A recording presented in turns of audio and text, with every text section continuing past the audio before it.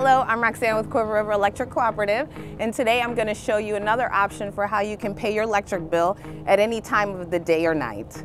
Now available is our 24-hour drive-up kiosk, which accepts cash, check, credit or debit cards, and posts your payment in real time.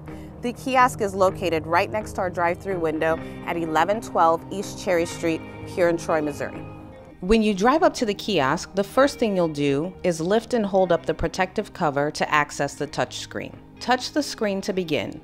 A user agreement will appear for you to read through and then accept. After doing so, the next screen will offer you the option of selecting My Pay Site or One Time Pay. For your very first visit to the kiosk, you'll need to select One Time Pay. The next screen will ask to punch in your account number your phone number associated with the account, and your last name. Once you've done that, press enter.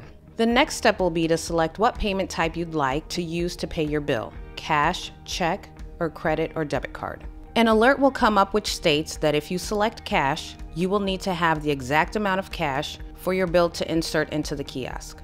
Change cannot be given. Any overpayment will be credited to your account. Once you press OK, a screen with your account information will then come up.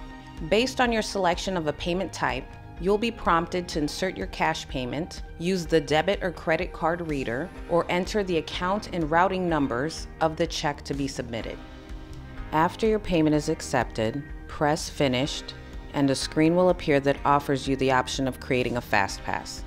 If you choose to create a FastPass, you will be prompted to create a four-digit code or a PIN. After entering your desired PIN, your receipt will print out with a barcode at the bottom.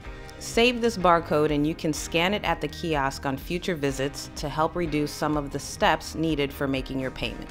The next time you visit the kiosk, select My Pay Site after you've accepted the user agreement. Next, you can scan your barcode and it will take you directly to the screen where you can enter your PIN. If you don't have your barcode, just enter your phone number and then you will be prompted to type in your PIN.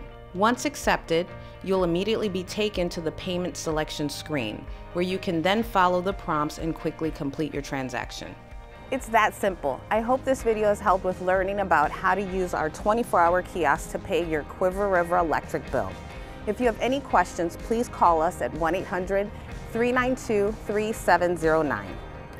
Thank you for watching and for being a member of Cuivre River Electric Cooperative.